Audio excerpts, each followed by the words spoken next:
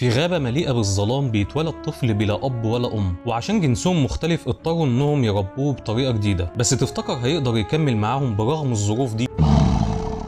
القصة بتبدأ مع أم بتحاول تحمي ابنها من شريكان اللي خالف قانون الغابة وقتل كل البشر. ولكن نجا الطفل ده والغريب إن أول ما باجيرا شافه قرر ياخده ويوديه للذئاب عشان يربوه وسابه واستخبى. لكن أول ما شافوه استغربوا منه واستعجبوا. ده جه منين الطفل البشري ده؟ في نفس اللحظة قلبهم حن يا قلب أمك. بس لاحظوا وجود دم أحمر على جسمه. فجربوا بلسانهم كده عشان يشوفوه مجروح ولا لأ. فيلاقوه تمام وسليم. وفجأة ظهر ضبع اللي أول ما شاف الطفل كان نفسه ياكله. وعشان الذئاب كان قلبهم حن للطفل ده أنا نفسي حنيت. فقاموا مهددينه عشان يمشي من هنا ويروح للي مشغله. وبعد كده نيشا قررت تروح لاكيلا زعيم الذئاب عشان تعرفوا اللي حصل وتقنعوا إنهم يسيبوه يربوه معاهم. وفي اجتماع كده على الملأ اكيلا يقول لهم أيها الذئاب انظروا إلى ذلك الطفل. عشان قلبهم يحن يعني ويضطروا يكسروا قانون الغابة ويربوا مخلوق مختلف عنهم. ومن هنا قرر باجيرا وبالو إنهم يدربوه ويدافعوا عنه عشان بالصدفة يجي أس البلاوي شريكان عشان يهددهم إن هيبقى في صراعات بينه وبينهم وإن هو اللي هيقتل الطفل ده. وجز على أسنانه كده يعني بطريقة مستفزة.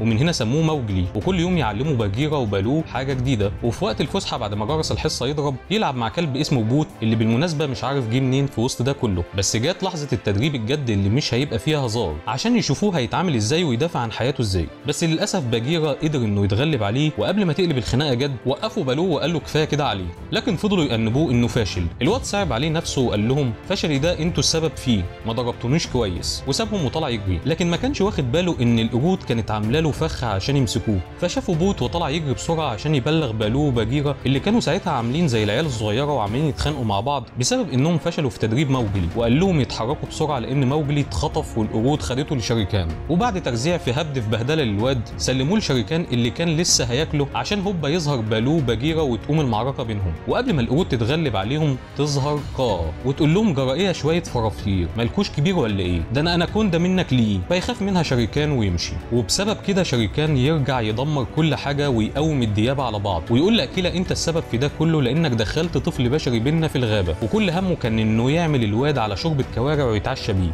قامت الذئاب اتقلبت على اكيلا وقامت خناقة بينهم قوية جدا. فاضطر موجلي إنه يجيب شعلة من البشر اللي كانوا على حدود الغابة ويحاول يفضي الخناقة اللي بينهم ويقول لشريكان لو قربت هشوحك على نار هادية.